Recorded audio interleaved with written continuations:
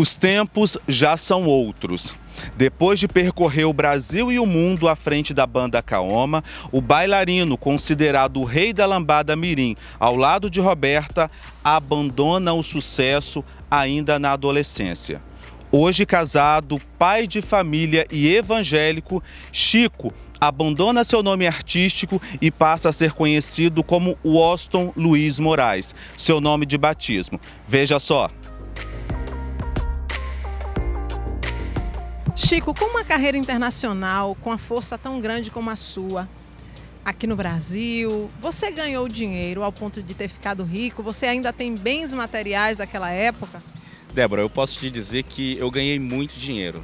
É, a gente tinha um cachê em dólar, é, eu tive contratos é, de, de, valores assim bem altos, mas eu posso dizer para você também que é, esse mesmo dinheiro que eu ganhei, eu tive um pai que era viciado em jogo de baralho. Então meu pai ficava praticamente sete dias sentado é, em, em, locais de jogos, jogando e gastando esse dinheiro. É, então é, o que foi dado por uma mão escorreu por cinco dedos e foi embora. Eu tive a oportunidade de comprar alguns imóveis. É, esses imóveis depois eu tive que vender alguns deles para poder pagar débito de jogo do meu pai na cidade onde a gente morava. Então, as pessoas não conhecem essa história e é importante você perguntar isso, porque é, a fama e o dinheiro, é, as pessoas que estão por fora imaginam que é, você já tem tudo, é, tudo é perfeito, e na verdade não é. Existe, é, o lado, existe o lado obscuro da fama, né? E este é, foi realmente o lado obscuro da fama, entendeu? Então, ganhei dinheiro, mas esse mesmo dinheiro foi embora.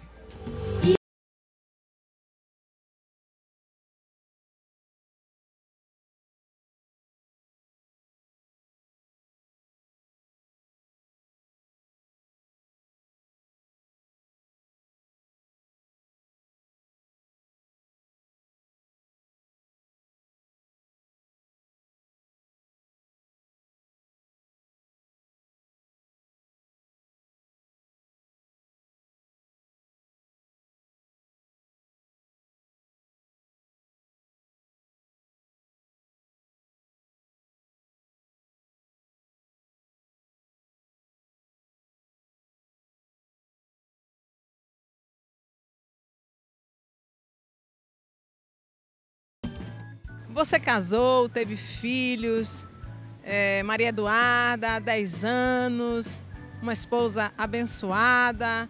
E como fica tudo isso dentro inserido da, dentro da sua vida hoje? É, eu posso dizer que eu fui muito abençoado, assim, ricamente abençoado. Deus me deu uma família maravilhosa, uma esposa realmente temente a Deus. Me deu uma filha linda, né? A Maria Eduarda que por sinal é, tem praticamente a mesma idade de quando a gente começou a dançar, eu tinha 11 anos de idade. Ela fez 10 anos agora, dia 29 de março. É, gosta também muito de, de dança, de cantar. Eu tenho que ficar ali monitorando direitinho, porque é, se a gente der muita corda, pode de repente seguir talvez um, algo que, que não é aquilo que a gente vive hoje. É, e eu quero que a minha filha tenha um, uma outra vida, uma outra, uma outra, um outro caminho, que siga um caminho sólido, é, um caminho é, de graça, de paz, que leve amor para o próximo, que leve luz para o próximo, né, que leve Jesus para o próximo. Eduarda, princesa do Senhor, diz pra tia, qual é a influência que seu pai, a carreira de seu pai, tem hoje na sua vida, de você gostar de dança, de música? Conta um pouquinho pra gente. Bom, é, desde criança eu gosto muito de cantar e dançar eu sempre puxei isso do meu pai, porque é, todos os vídeos que eu vejo do meu pai de dança, de canto, eu gosto de ver também que assim eu puxo um pouquinho eu danço bastante e chega num show de talentos da minha escola, eu cantei, eu cantei uma música do meu pai no show de talentos é, da escola. Eu não fui a campeã, mas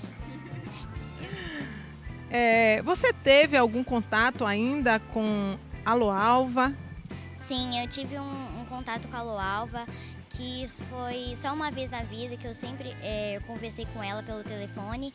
É, eu gostei muito, é, porque a Loalva ela é muito feliz, ela gosta de ajudar os outros bastante. E eu fiquei muito chocada porque aquele homem matou ela, então eu a, também fico muito triste com isso. Chico, diga para mim, o, como foi que você recebeu essa notícia dessa tragédia né, que aconteceu? Você estava em casa, você viu através é, da mídia, como foi isso? É, então, eu estava é, na casa da minha sogra, em São Mateus, Guriri. É, estava passando um final de semana lá, descansando. E de repente chegou um, uma mensagem no meu WhatsApp é, de um amigo se eu estava ciente é, de que a Alva tinha sido morta. Naquele momento eu não acreditei, achei que fosse uma, uma brincadeira, então eu fui para a internet e fui pesquisar. E aí eu tive a infeliz surpresa de que se tratava de uma verdade.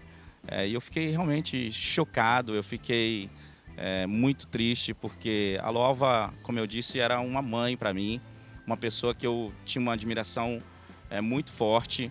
É, me lembro de um, de um momento que a gente foi fazer uma gravação na casa dela aqui em Viana, ela tinha um sítio aqui em Viana, é, e aí eu peguei um violão e tinha algumas pessoas ali, até inclusive filha de pastor estava ali, e nós começamos a adorar, cantar um, um, louvor, adorar a Deus, e ela achou lindo aquilo ali, aí começou a fazer contralto na voz, é, ela conhecia mais ou menos um pouco a canção, então foi algo muito marcante que eu guardo no meu coração, além das outras, dos outros momentos que eu vivi com ela.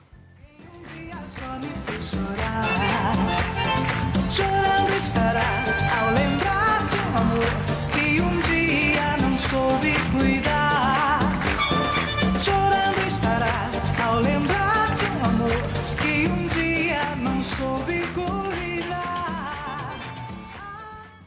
A mensagem que eu deixo para as pessoas é que é, a palavra do Senhor nos diz em Romanos, capítulo 12, versículo 1, que nós devemos apresentar os nossos corpos em sacrifício vivo, santo e agradável a Deus. Naquele tempo eu não entendia isso, mas hoje eu entendo. Então hoje eu quero apresentar o meu corpo, a minha vida, como sacrifício vivo, santo e agradável a Deus. E você? Dá só uma palhinha dessa voz. Chorando se foi quem um dia só me fez chorar. Chorando se foi quem um dia só me fez chorar. Chorando estará ao lembrar de um amor quem um dia não soube cuidar. A recordação vai estar pra sempre aonde for. Fique ligado no Na Lente. Muito bacana, não é essa história? é um talento que passa de pai para filho. E se você conhece algum artista, alguma celebridade que teve fama nacional ou internacional, eu aguardo a sua sugestão de pauta no endereço programanalente@gmail.com. E agora você vai ficar com um momento de reflexão com Débora Brasil. Muito obrigado pela sua audiência de sempre. Tenha um ótimo dia e até o nosso próximo encontro. Até lá!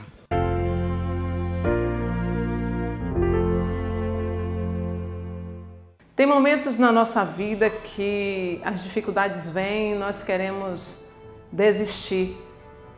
Mas a semente de mostarda é bem pequena e se nós tivermos fé como essa semente, nós podemos orar, clamar e Deus, pela sua infinita misericórdia e graça, nos atender, porque às vezes é difícil. Eu já passei por momentos difíceis Confesso, pensei em desistir, mas uma minúscula semente de fé foi suficiente para germinar em meu coração o impulso de clamar por ti, ó Pai. Ouvindo meu clamor, lançaste o seu olhar de amor. É no amor de Deus que nós devemos confiar é, na fé no que Deus pode fazer, na fé em quem Deus é, porque Ele pode fazer todas as coisas, que nós devemos colocar o nosso coração. Então, nesse momento, coloque a sua fé em Deus, a sua fé no nome de Jesus, porque Ele pode fazer todas as coisas.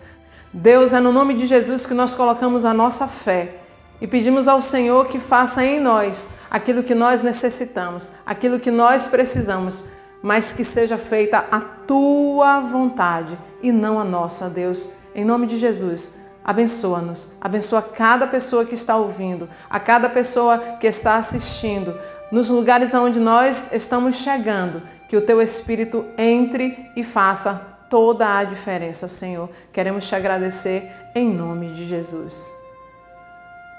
Jesus abençoe.